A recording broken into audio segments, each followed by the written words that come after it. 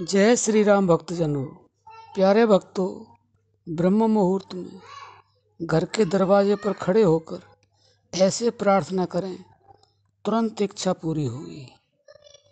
भक्तों, ये तो आप जानते ही हैं कि ब्रह्म मुहूर्त बहुत ही शुभ मुहूर्त होता है। इसको किसी से पूछने की आवश्यकता नहीं, जानने की आवश्यकता नहीं, सभी जानते हैं।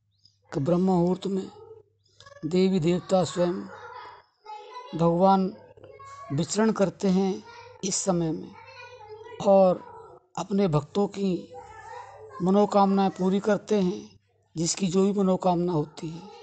और वह यह भी देखते हैं कि इस समय में कौन मेरा भक्त क्या कर रहा है? सो रहा है, जाग रहा है, नाम जप कर रहा है, ध्यान कर रहा है। जैसा वह देखते हैं, वैसा ही उसको फल प्रदान करते हैं और देरी नहीं करते हैं। क्योंकि वह समय ही इस तरह का है कि हमारे ऋषि मुनि, संत महात्मा ब्रह्म मुहूर्त में ही उठते हैं और अपना नाम जप, ध्यान भजन वह उसी समय में करते हैं। और यह वास्तव में ही हमारे 24 घंटे में सर्वोत्तम समय होता है। तो भक्तों, ब्रह्म मुहूर्त में उठना ही बहुत बड़ी बात होती है।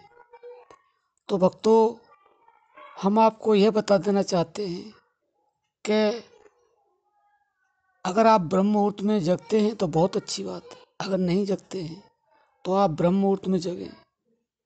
और आपकी कोई भी इच्छा है, तुरंत पूरी होगी। आप इस तरह से परमपिता परमात्मा से प्रार्थना करें, क्योंकि आपने सुना भी होगा, पहले बुज़ुर्ग लोग ब्रह्म मुहूर्त में उठते थे और गाँव में तो आज भी ज़्यादातर उठते हैं। लेकिन पहले में और अब में बहुत फ़र्क पड़ गया है। जो जवान जनरेशन है, वह तो देर तक ही सोते हैं। लेकिन आजकल गाँव के बुज़ुर्ग भी जल्दी ही उठ जाते हैं। उनका समय वही होता है तीन बजे, चार बजे, पाँच बजे। इसके बाद में वो सो नहीं पाते हैं, क्योंकि उन्होंने ऐसा अभ्यास बना रखा है। तो भक्तों, आप इस चीज़ का ध्यान करें कि ब्रह्म मुहूर्त जब इतना पावरफुल है और उसमें भगवान और भगवान की शक्तियाँ स्वयं विचरण करते हैं तो उस समय हमारी जो भी इच्छा है वह क्यों नहीं पूरी होगी? लेकिन भक्तों, हम ऐसा कर नहीं पाते हैं। और वह भी घर के दरवाजे पर खड़े होकर के। भक्तों, आप भगवान से सुबह ब्रह्म मुहूर्त में उठ कर के और प्रतिदिन दरवाजे पर खड़े होकर के और भगवान से यह प्रार्थना करें। हे परमपिता परमात्मा मैं तेरा बहुत शुक्रगुजार हूँ। तूने मुझे मनुष्य शरीर दिया।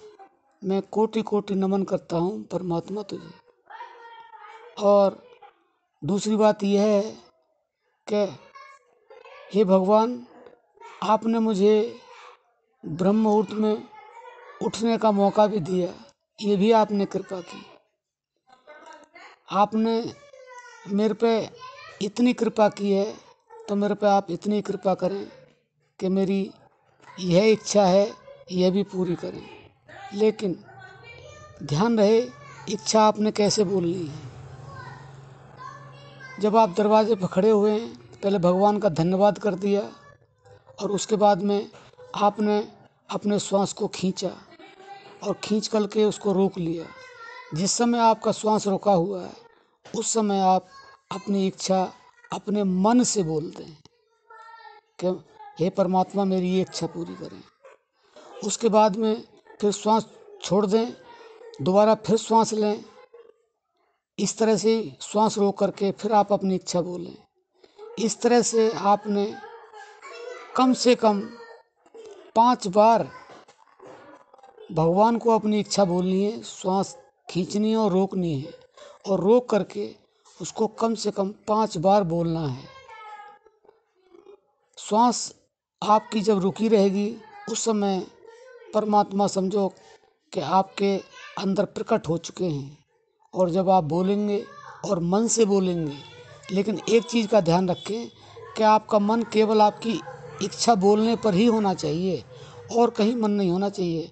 और किसी तरफ़ आपका मन जाए ना, केवल और केवल जो आप इच्छा बोल रहे हैं आपके मन में केवल वही रहे और श्वास थमी रहे।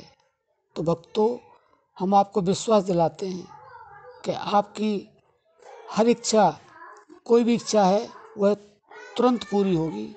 और अगर पूरी नहीं होती है तो जब तक आपकी इच्छा नहीं पूरी होती है, आप प्रतिदिन ऐसा करें।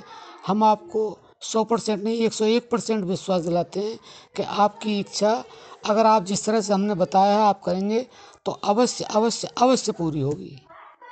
तो भक्तों, आशा करते हैं अपनी इच्छा पूर्ति के लिए आप ऐसा ज़रूर करेंगे। अब हम अपनी वाणी को विश्राम देते हैं। जय श्री राम।